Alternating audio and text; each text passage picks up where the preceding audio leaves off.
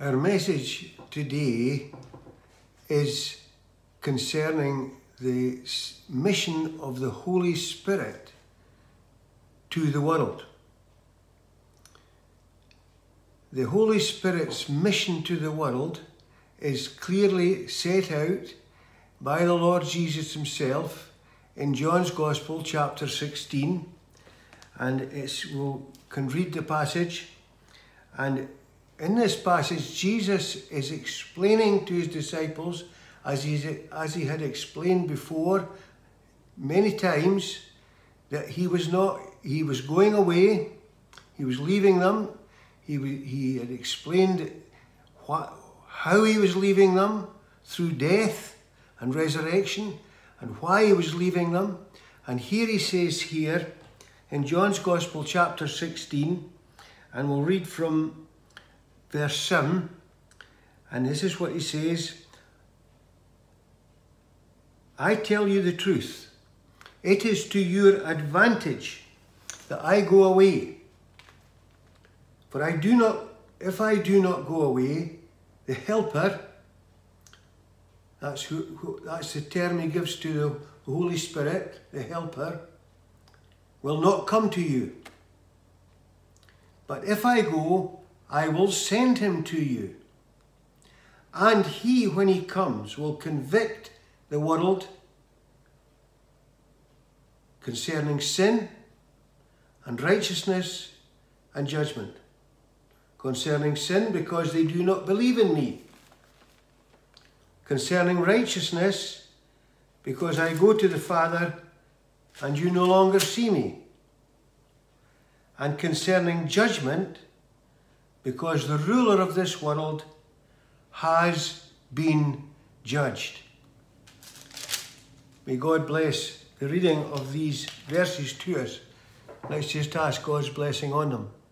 Our gracious God, we've read this portion of your word, and we pray that as we look at it and consider it together, the Holy Spirit would help us to open up its meaning for our blessing and our understanding and for the furtherance of the work of the gospel and the glory of Jesus. We ask it in his precious name. Amen. So, the Lord has explained in the 14th, 15th, and 16th chapters of John's Gospel many things concerning the Holy Spirit coming to the world. Jesus was coming to the end of his ministry here. Before him was the cross, before him was the great work of redemption to accomplish the salvation of those who would believe in him. And he was explaining to the disciples, his disciples, the few that had gathered round him, that when he went away, he was going to send someone else to take his place. Otherwise, other, elsewhere he tells us that the Father was going to send someone else, the same person. The person that's described in this passage of Scripture as the helper.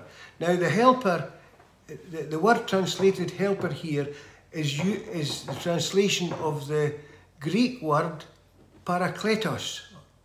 And that simply means someone called alongside a person to help them, as in a court of law or in a time of trouble. It's actually a legal term. And John translates it in his, uh, or rather, it's translated for us in the remarks about it, in, in the use of it in his epistle when he's speaking about the Lord Jesus at the right hand of the Father in heaven, and he describes him as a parakletos. And in that, eh, in that setting, the, the Bible uses the term advocate.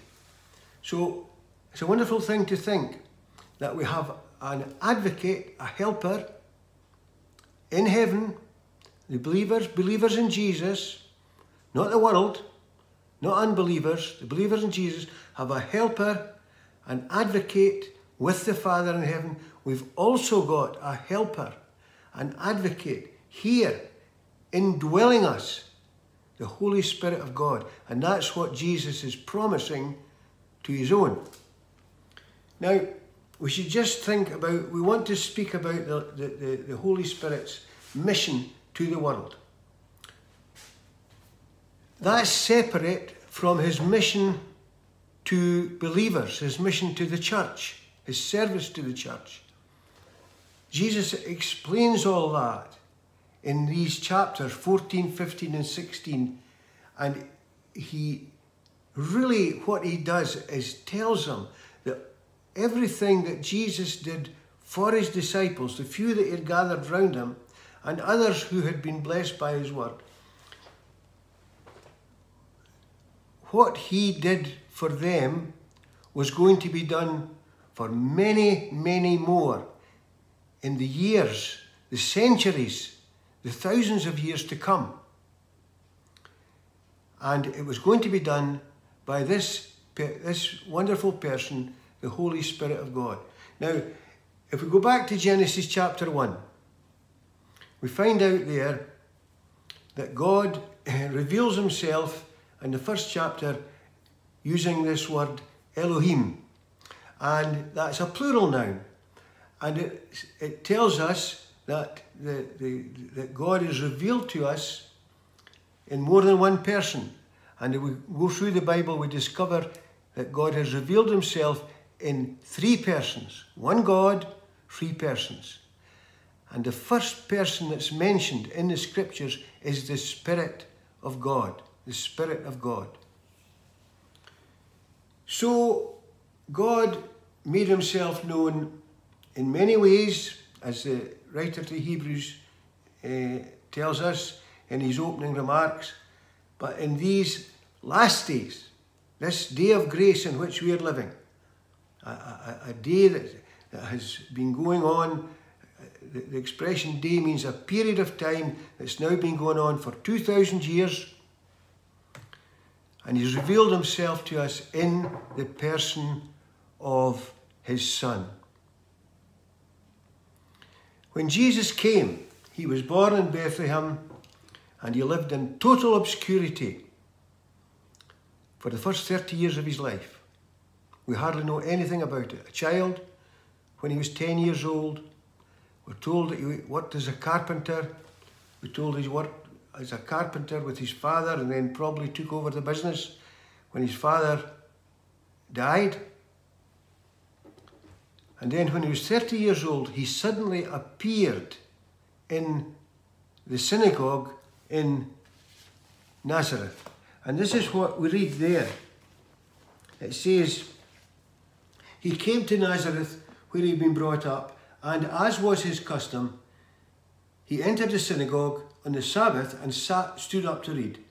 The book of the prophet Isaiah was handed to him, and he opened the book and found the place where it was written, The Spirit of the Lord is upon me, because he anointed me to preach the gospel to the poor. He has sent me to proclaim release to the captives and recovery of sight to the blind, to set free those who are oppressed, to proclaim the favourable year of the Lord. He closed the book gave it back to the attendant, and sat down. Full stop. Now, if you go back to the passage of Scripture from which he quoted in Isaiah, you find that he stopped in mid sentence because he could have gone on and said, and the day of vengeance of our God. But he didn't say that because that was not his mission to the world in his first coming, his first advent. His first coming was a mission of salvation, of blessing, of healing, of making known God's love and saving grace to the world.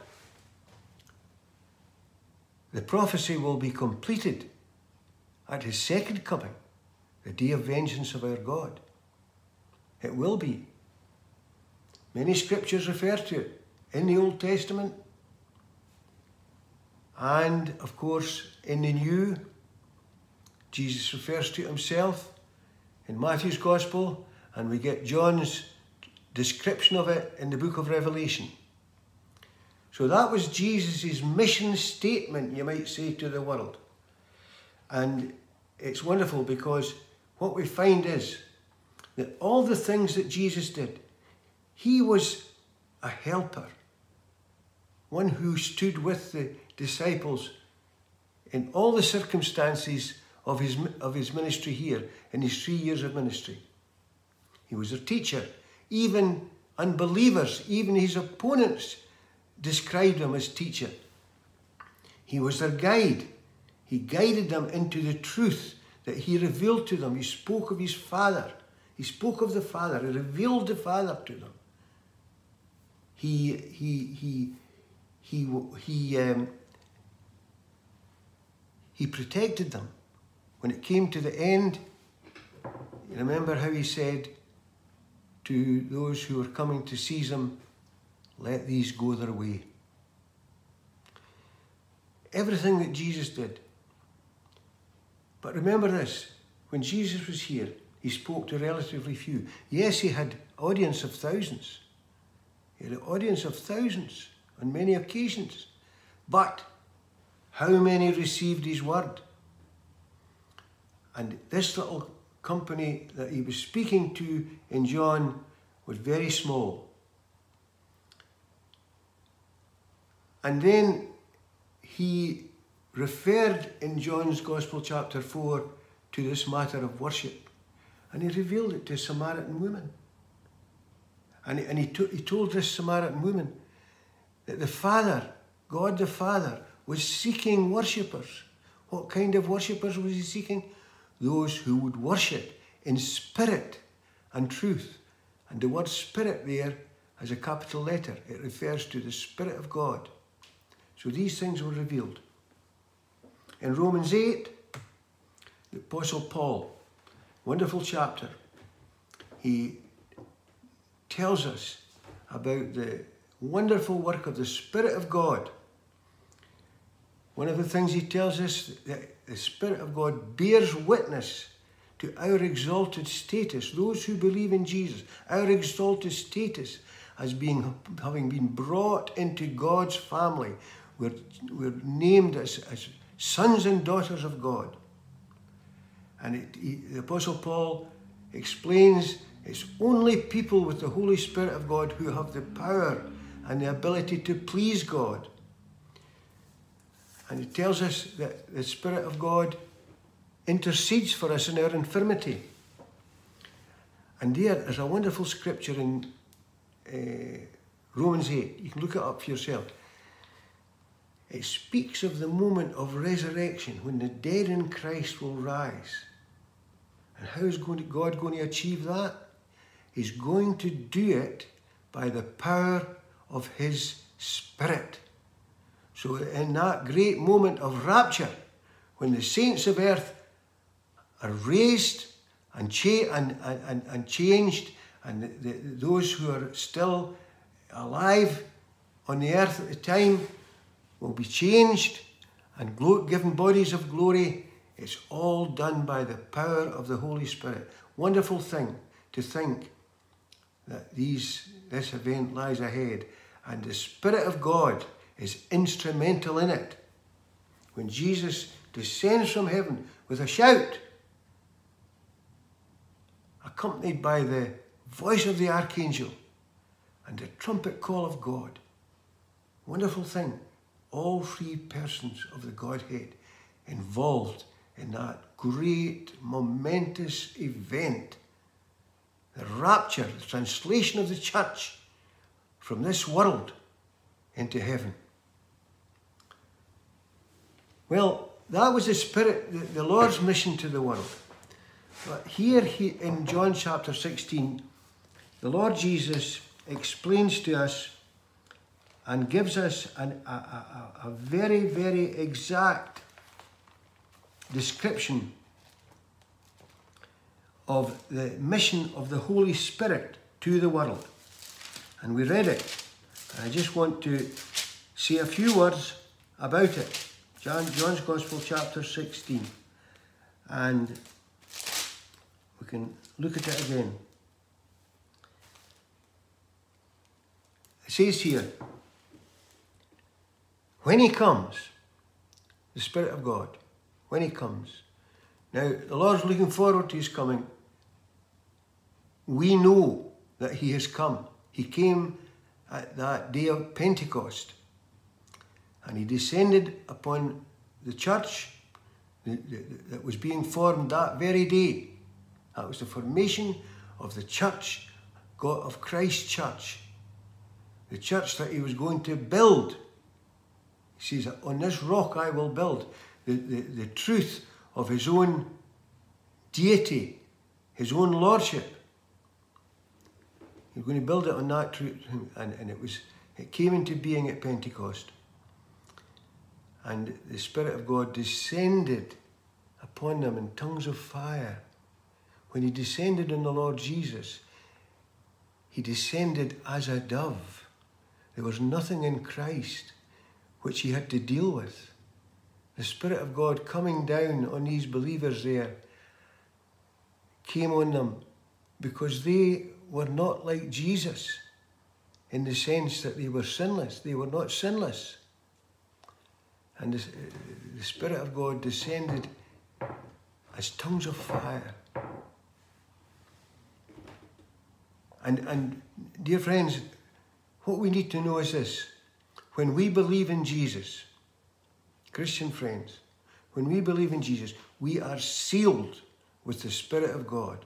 That takes place the moment a person puts their trust in Christ.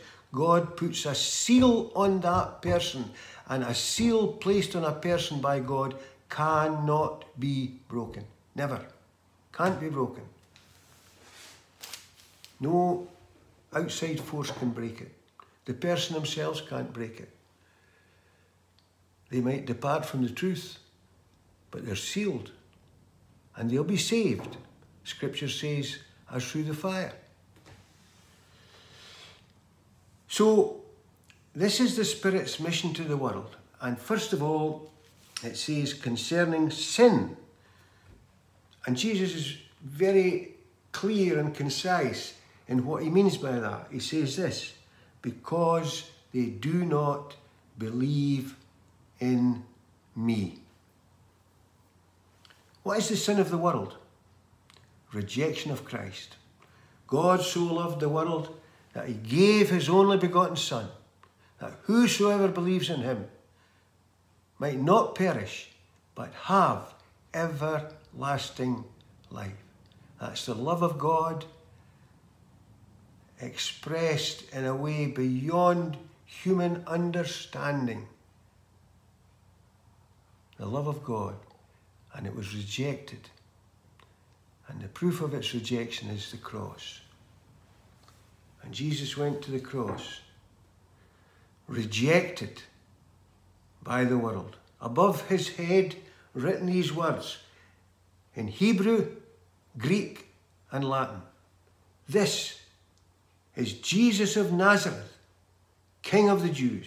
Words of mockery, words of rejection, words showing the stupidity and the wickedness of the heart of man in rejecting the gift of God the gift of God. That's the sin of the world. They do not believe. Come to the end of the Bible, the book of Revelation, the great white throne, books are opened detailing the works of men and women. And another book is opened. And that book is called the Lamb's Book of Life. And that is God's standard of whether a person passes the test of his righteousness. Is their name written in the Lamb's Book of Life? When your name is written in the Lamb's Book of Life, it proves that you believed in Jesus. God's own writing, God's book. Is your name written in the Lamb's Book of Life? It, it, that would prove that you believe in Jesus. How do you get your name in the Lamb's Book of Life? By believing in Jesus. Now, another scripture tells us people's names written in the Lamb's Book of Life from the foundation of the world. Let me explain that. That just means that God, in His omniscience, knew before He even created the world who would accept Jesus as their Saviour, who would repent and believe in Jesus. So here's the question. Here's the, here's, here's, here's the truth from the lips of Jesus himself. Sin because they do not believe in me. How sad. How sad. Particularly a man or a woman facing eternity refuse to believe in Jesus. Refuse to believe in Jesus. How sad that is. Then he goes on of righteousness. Concerning righteousness, because I go to the Father, and you no longer see me. Jesus was rejected here, and he left the world. He died, he was buried, he shed his precious blood on the cross in death, and that was what God required as a payment for sin. Christ's death on the cross was a substitutionary death. He died in the place of the sinner. That death, that, substi- that substitutionary sacrifice is available to all without exception.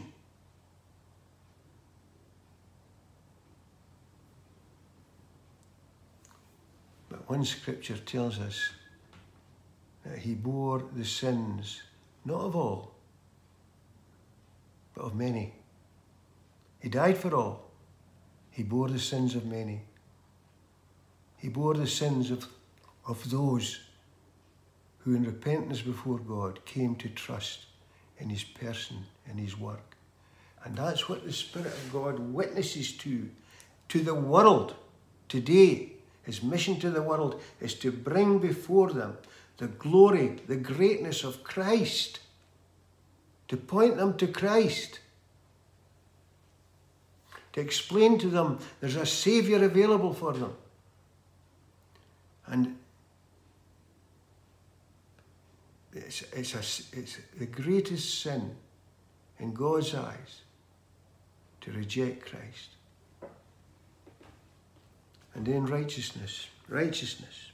Concerning righteousness, because I go to the Father, Jesus left the world.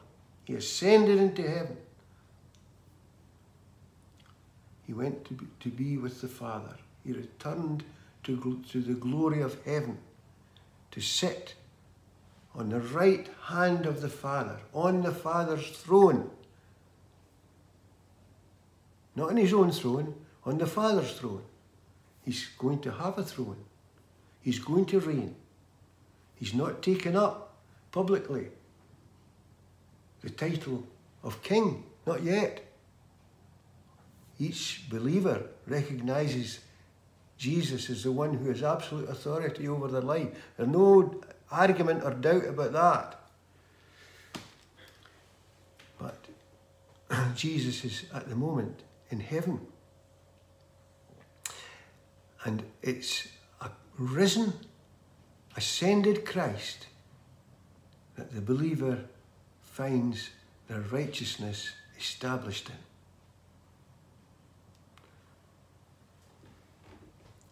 My righteousness is in Jesus. The, the, righteousness of every believer is in Jesus, not in their own works, not in their, in their own life, not in their own attempts to be pleasing to God. It doesn't work. It can't work. If I assume that by my efforts to please God, He'll accept it, do you know what that is? That's an insult. An insult to the God who provided me with a Saviour. That undermines the work of Christ. Nothing that a man or a woman can do to please God is of any value in his sight regarding this great principle of righteousness. The righteousness of, righteousness of God is found in Christ. And it's, it's, it's discovered by needy sinners, by faith. And that faith is the gift of God.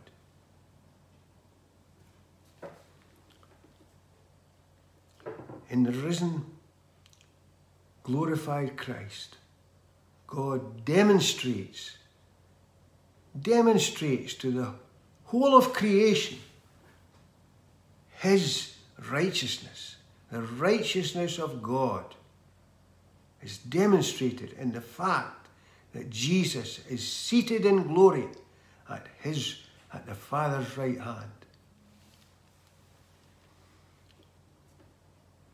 And then he says, concerning sin,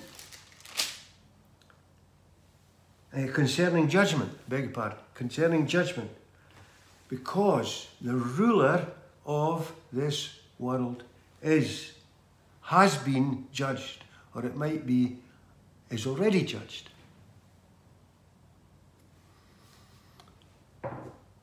God passed judgment on sin at the cross.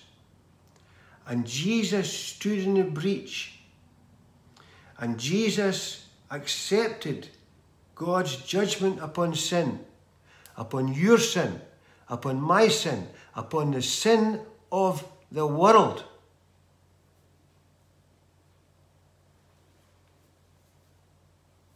At the cross.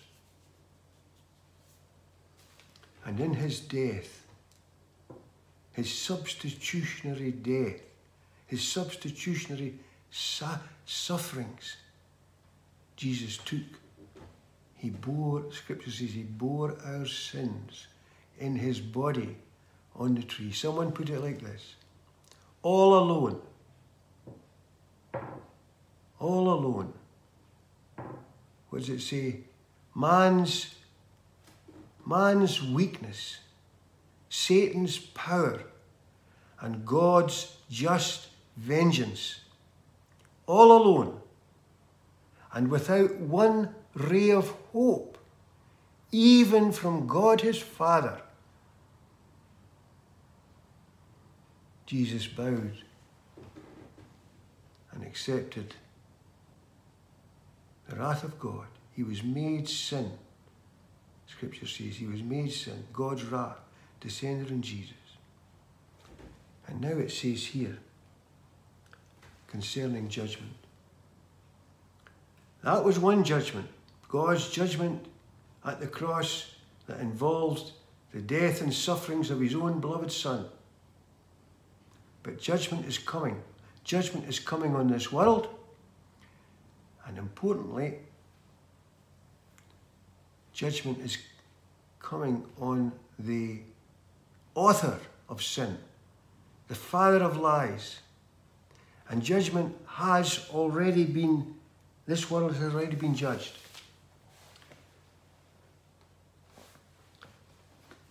go back to the book of Genesis. Book of Genesis. We, we went to the book of Genesis already, and if we go back to the book of Genesis, God speaks directly to Satan, the author of sin, the father of lies. This is what he says Genesis chapter 3 and verse 15. I will put enmity between you and the woman, and between your seed and her seed. And you shall bruise him on the heel. He, sorry, he shall bruise you or crush you, more, more correctly, he will crush your head and you will bruise his heel. God passed judgment on Satan at the very beginning of time.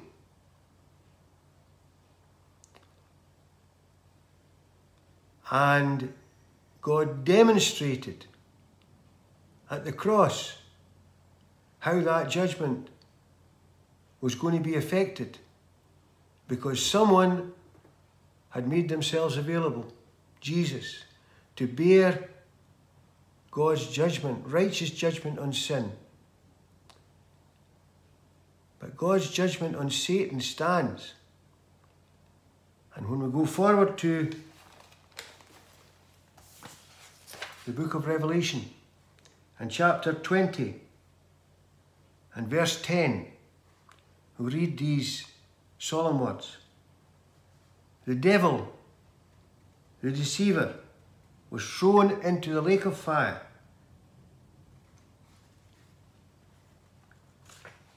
Where the beast and the false prophet are also, and they will be tormented forever. So, sentence of that judgment will be carried out. And sentence and the sentence of judgment will be carried out on every believer. That's a solemn fact. That's a solemn fact.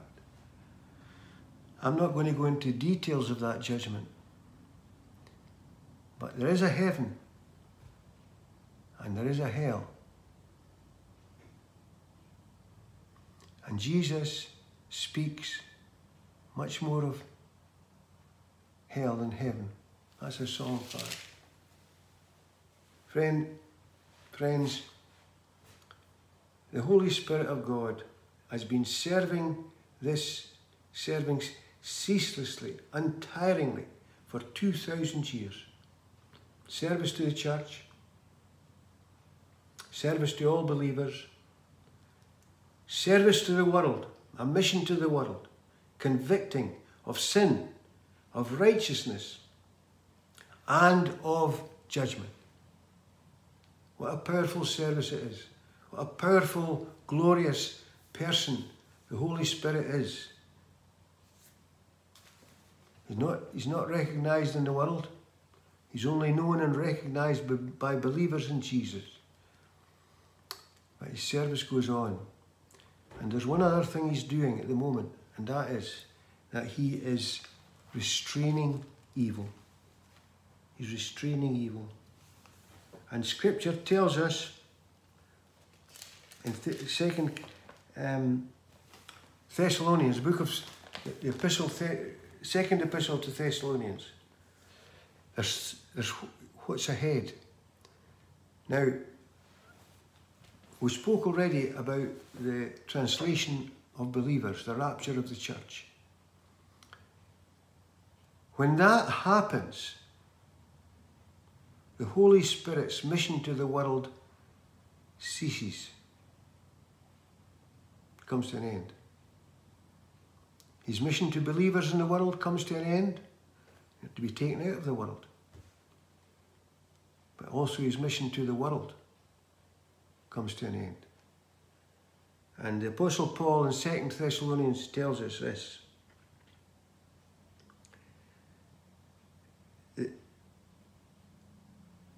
He says this The mystery of lawlessness is already at work. Now, if it was already at work in Apostle Paul's day, how much more today we see the mystery of lawlessness? 10,000 times greater in this world today.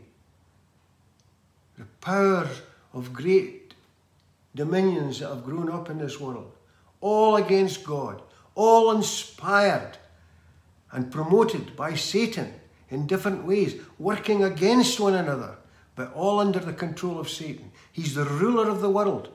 He's the ruler. Some Christians don't like to think that, but Jesus gives him that title, the ruler of the world. And this is what he says. This is what the Apostle Paul says. Mystery of lawlessness is already at work. And then he says this only he who now restrains will do so until he is taken out of the way. Who is the one who restrains?